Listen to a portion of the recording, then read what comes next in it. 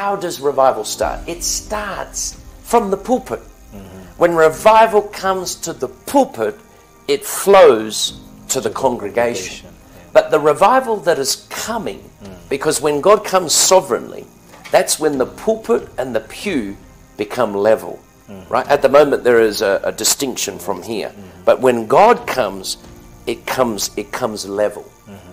And I believe that what God is doing in this hour is going to shake nations. Mm-hmm. When revival comes, it's a benefit for the government, it's a benefit for the youth, mm. it's a benefit for families, mm-hmm. it's a benefit for everything. So, my message for Kenya is mm. the future of Kenya mm-hmm. is in the mouth of every believer. Are we speaking blessings over this nation or we're speaking curses over this nation?